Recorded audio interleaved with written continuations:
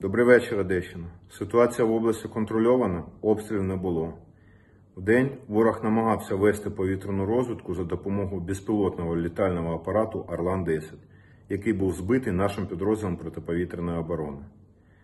Вчора, за програмою міжнародної технічної підтримки від Європейського Союзу, прикордонники Одещини отримали 4 нових патрульних катера. Дякую міжнародним партнерам за стабільну підтримку та безцінну допомогу в охороні наших кордонів. Разом до перемоги! Все буде Україна!